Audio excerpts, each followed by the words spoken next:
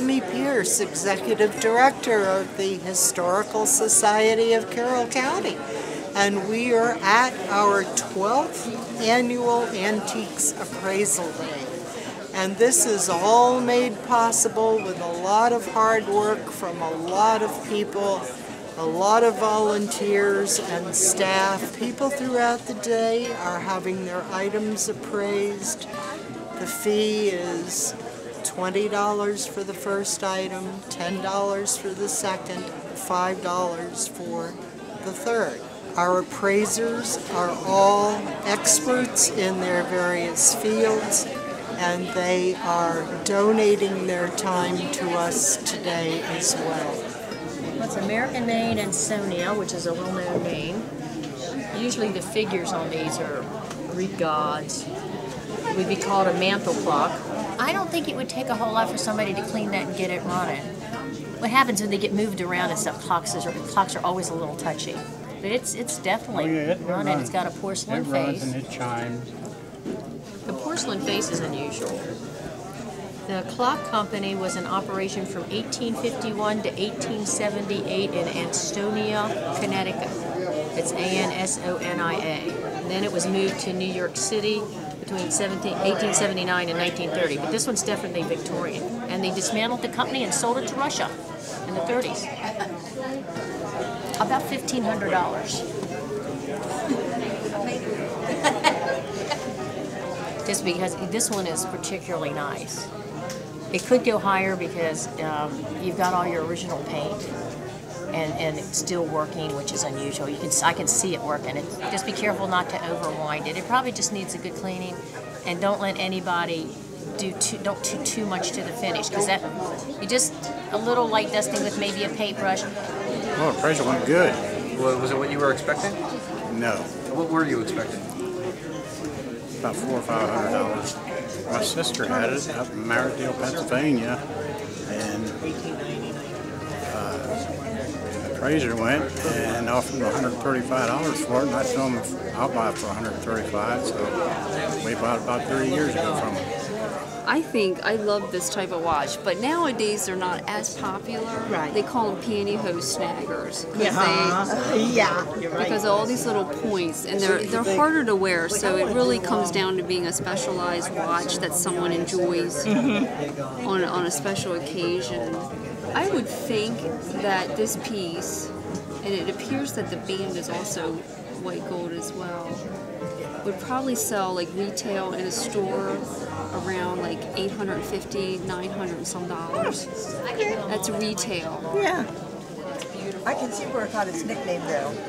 The What did you say? Yeah. pantyhose snagger. snagger, yeah. in the little- 50s they were known for that they would create these pieces that were so mm-hmm. You know so many prongs and spiky and they would snag your sweaters and your clothing all the time so you know it's a collectible piece but it's hard to wear every day so you know It's it's uh, made by a company called Stieff. It's a it's a Baltimore pattern. It's called Rose. Um, people in the trade call it repoussé because it, the silver's really banged out. It's very three dimensional. In fact, if you do a close up on that, you can see how, how floral and how decorative the pattern is. And um, she has a complete set of it, a service for eight, and um, it's worth about fifteen thousand dollars a set. I thought it'd be a little higher, to be honest. but um, that's fine. I'm satisfied right now. I might try to sell it. You know, that, uh, my daughter doesn't want this pattern, and you know, I can't see my son with it. No. So I only have two. so I think I'm going to try to sell it. We're excited to be here this morning. This is our 12th year of Antiques Appraisal Day, and uh, we have a wonderful crowd with us today already this morning. Uh, some really neat uh, appraisers here. We're very fortunate to have the appraisers uh, volunteer their time. And already I've seen a lot of interesting artifacts, so we hope every, everybody enjoys themselves. This is a very important part of our effort at the Historical Society to, to involve our community with some interesting things. And um, I don't want to forget to um, uh, not to thank our sponsors who have helped us uh, put this whole thing together.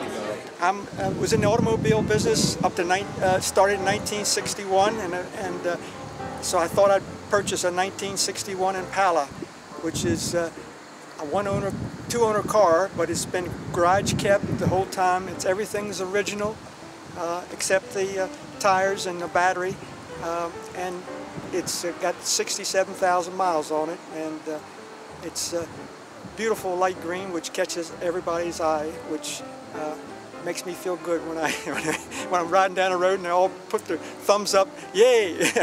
so This car is remarkable because of its condition, because it has been garage kept. You can look inside and see it's all original. It's remarkably good condition. And what we call baby boomers cars are the height of fashion right now. And people want to buy the cars they remember that they couldn't afford when they were young. So these cars are, are going up in value where cars from maybe the 30s and 40s are uh, have gone down in value because there's nobody that wants them as much as the people want their cars they remember. I'd say between 70 and 100,000, simply because it's rarity. The average ones are ranging maybe 40 to 60 for one in, in really remarkable condition that's been restored. Lower end ones maybe 23,000, but I, I usually double it if I think that the car is very rare for any reason and if it's perfect. And your car is pretty much perfect. It's as perfect as it can be for being that old. Right. And in the color, you've got a really good color. Yeah, I- I like See, that. that color's ma- making it worth more too because Yeah. that's the color you think of in that period. yeah, the enamel paint too, that beautiful holds up good. Yeah. It's, it's actually an art object with those those beautiful lights in the back, and Right, yeah. like the rocket tail lights. Yeah. I'm flabbergasted. I didn't think it was worth anywhere near that. that was that was something else. Well, I got a lot of people who want to buy it, but uh, I don't think they're going to pay uh, that much money for it. but anyway, I'm going to keep it for a while because it's a it's a treasure to me because I was in the automobile business for 30 years and uh, Chevrolet uh, was my favorite car and uh, that was the year I started in business. It's, my personally was 61 when we all started. Of course, our business has been there longer than that, but uh, it kind of brings back old memories. So, uh, and when I see the car and everybody looks at me, it, it makes you feel good. These were the last single shot guns issued to American troops by the United States government before there was the revolver, before Colt invented the revolver. So you got one shot out of this, and that was it. That was and it. then you had to reload it. Uh, again, these typically were used by cavalry, and um, a lot of single shot pistols, uh, they were all loaded from the front. So this is called a muzzle loading single shot pistol. Uh, and this ramrod here is actually attached so it doesn't get lost if you're on horseback. So in order to load it, you know, you put the powder down, then the ball, and then you tamped it down like this to the bottom. Um, and then you could return the ramrod. It's a little clumsy, but at least you wouldn't lose this, because once you lost this, then the pistol was not good to you. Yeah, I never heard You that wouldn't be able to shoot it. so. Um, made by um, Henry Aston in Middletown, Connecticut, and is so marked on the lock plate in 1849. So this would have been produced after the Mexican War and before the American Civil War. The Mexican War was over in 1848.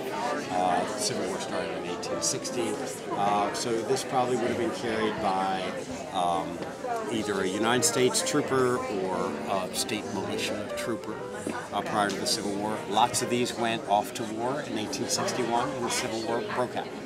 Uh, but because the revolver had six shots and this had one, a lot of these were quickly replaced by the revolvers. Yeah, one shot doesn't help you a whole lot. No, not really. But unless you have two of them, then you've got two shots. Um, it's in really a pretty nice condition. Um, what is important about its condition are these little marks in the stock. So these marks down here in the stock are not so significant. Interestingly enough, as far as the value is concerned, these marks in this stock are very significant because they were lightly stamped in here, and these were the two uh, government inspectors. So Henry Aston was a contractor to the United States government, and each one of his guns that the government purchased was inspected by a government guy, two government guys, and they each stamped their initials in a little cartouche on the side of the gun which meant it met the quality standards of the United States government and could be accepted, and he could get paid for this particular gun. Um,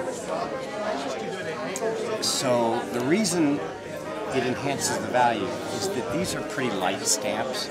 So guns that were used heavily, these wore off They were quickly. okay. So the fact that they're as crisp and clear as they are, and you can still see them and read them, is significant uh, for the, value of the gun.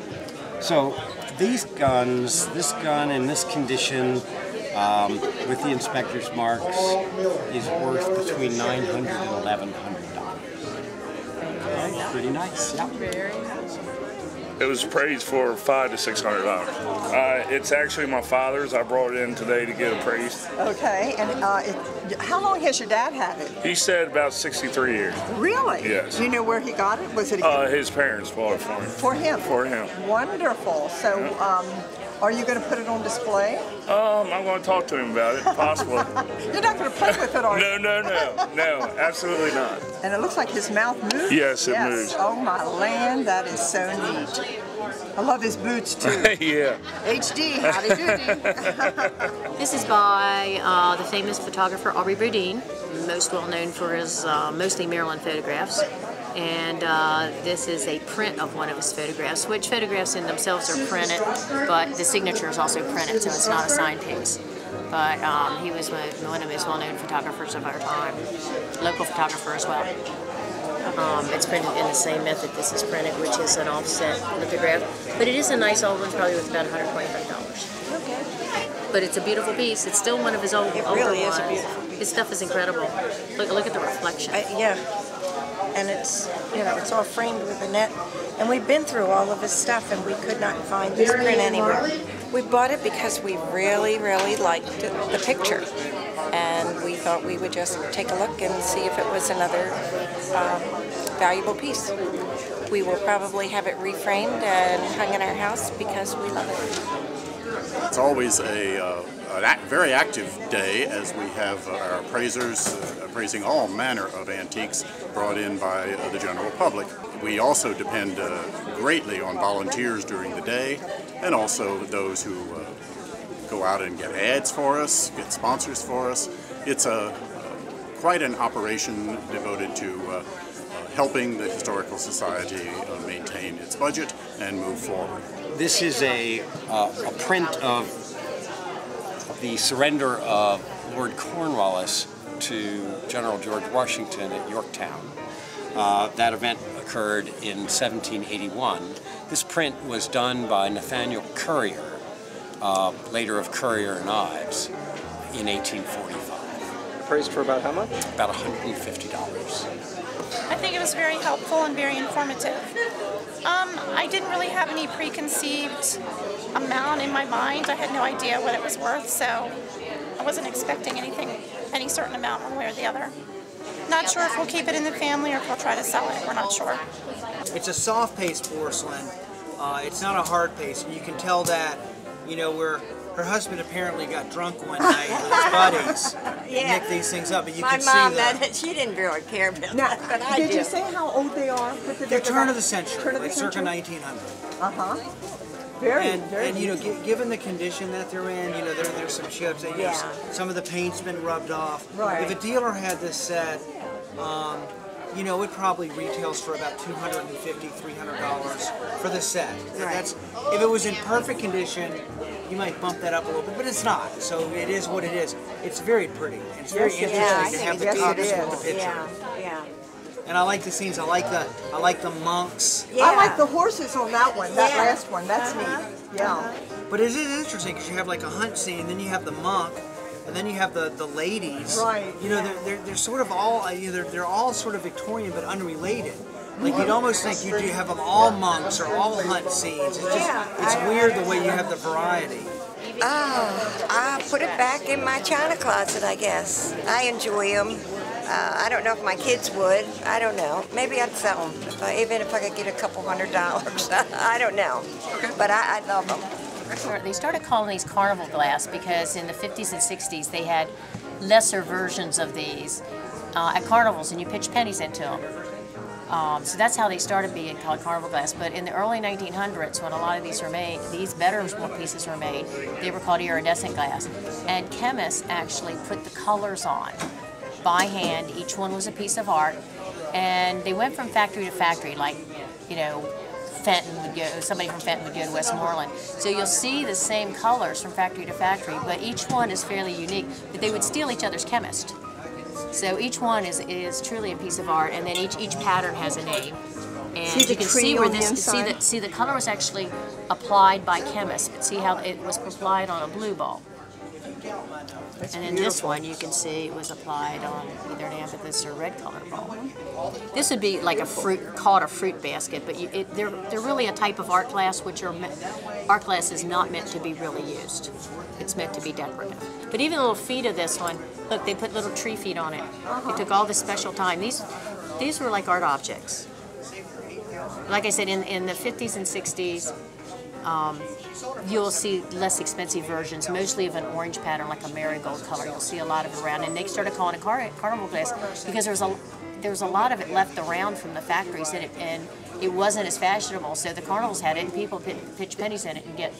Did you say what the, these date back to? These pieces? Um, early 1900s. All right, let's start with this. This actually is a Civil War period holster.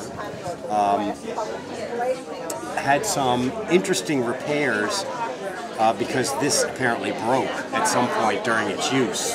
Um, it split here, so as you can see, there's some little iron rivets, and they look like they were done during the period of use. So the soldier's holster broke, he had it repaired in the, field probably, and then put it back on his hip. Um, and this was actually made for a Colt revolver. this is not a Colt revolver, and is a larger gun than a Colt revolver. So the soldier who was issued this gun actually sliced the holster to So fit this fit. gun. Okay. So that's kind of interesting because that means that this gun and this holster were used together. It wasn't just a gun purchased over here and a holster purchased. over here. So, uh, so that's pretty cool. So some Civil War trooper carried this on his hip with this gun in it. Okay. Um, this is one of Colt's competitors. Um, it was made by, uh, it was invented by a fellow named Nathan Starr, S-T-A-R-R, and his patent was right prior to the Civil War, and it's marked here, patented 1856. Uh, but these didn't go into production until right around the Civil War, because you know, so the the mechanism was patented, but it didn't go into production until there was a market for them. So when the Civil War began, the government contracted with Nathan Starr to make these uh, Starr revolvers. Um, again, you had six shots, but you still had to load it individually. So um, each cylinder had to be loaded. Again, you had to pour powder into it, then put the ball on top, then use this rammer to ram the load all the way down. So you had to sit there and load each cylinder like that. So when you're out in the field, once you finished your six shots, you couldn't like load it like we can today. You had to take some time. Yeah, but everybody else had the same disadvantage. Okay, so uh, but having six shots again was better than one. Um, this one also was a government issue gun, um, and you the, the inspector's marks aren't quite as clear, but can you see that little cartouche Yeah. down the bottom there? It's barely there. Yeah. And then on this side, there's another one. You can just barely sort of see the top line. Yeah. But in addition to that, the government inspector put his initials on some metal parts. So there's a little H there. There's a little B here. Oh. So guns that were not issued or purchased by the federal government would not have those marks. Them. So that enhances the value of this.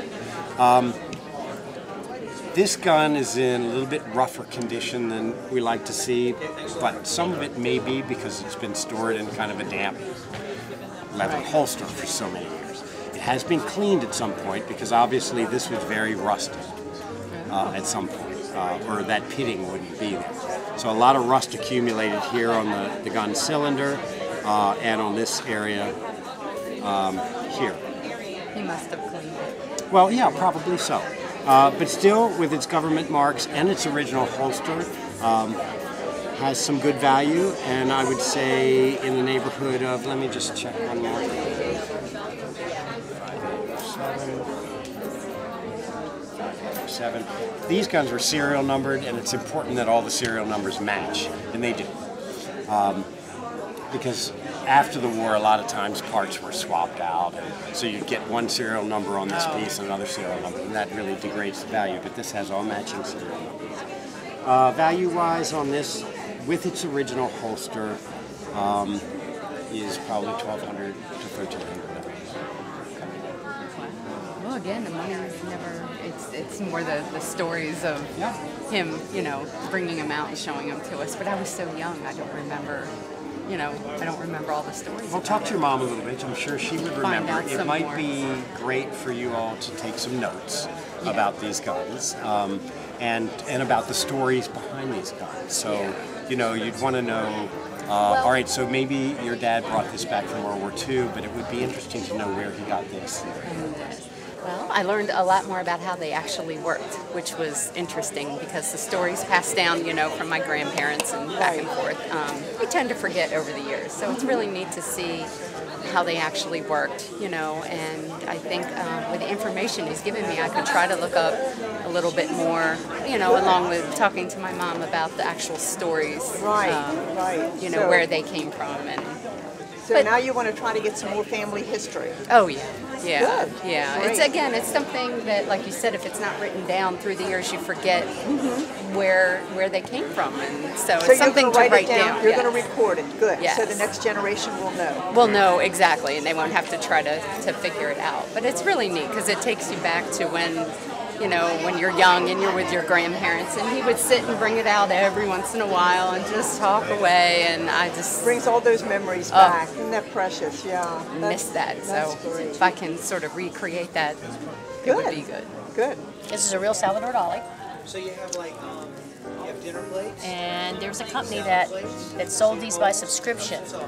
Um, I, I'd say 40s, 50s, 60s, and almost everything they sold to people, which you think you get su- by subscription art, like a magazine, you get these things in the mail. Or I, I, I don't know if they picked them out or not, but almost all the artists were famous and became very famous. Who, who's the artist? This here? one's Salvador Dali. This is a real etching of a Salvador Dali. Where did you get it?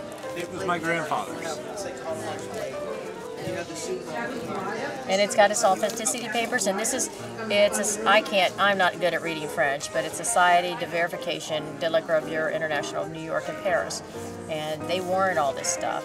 And it was the Collectors Guild that sold these. And they and uh, almost everyone I've ever seen is you know a well-known artist and or somebody that became well-known. Some of the people weren't well-known when they started and even though it's an etching, it's considered an original because etchings are original pieces of artwork. It's not, they're not worth a huge amount of money. Say a couple hundred dollars. These are not real rare. There's lots of them around. So there's um, they're not worth as much as you might think of a, of a. Some of his things were signed at a later date, even. A lot of people were suspicious of some of these things, but this by the Collectors Guild is a real piece. I'm not going to get you guys through college, but it's fun to hang on the wall. Hang on to it, you never know. Okay, Lindy. Thanks so much. Can't thank enough uh, all the people who have contributed through the sponsorships, the ads, the patrons, uh, and of course their, their time today uh, as we uh, move forward through the day. This is a big fundraiser for the Historical Society, and we always, as we say, appreciate your support, however you may be able to support.